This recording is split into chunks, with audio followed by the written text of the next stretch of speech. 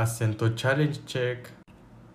México, Canadá, Gringolandia, China, China, otra vez China.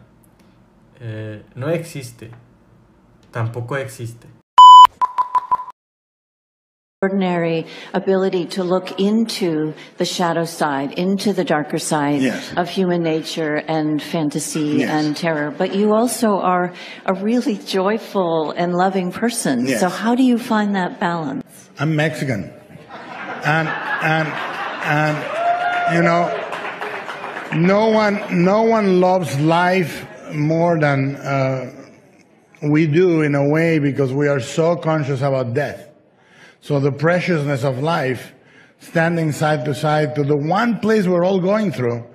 Let's say everybody in this uh, planet boarded a train that was final destination death. So the train, we're gonna live. We're gonna have beauty and love and freedom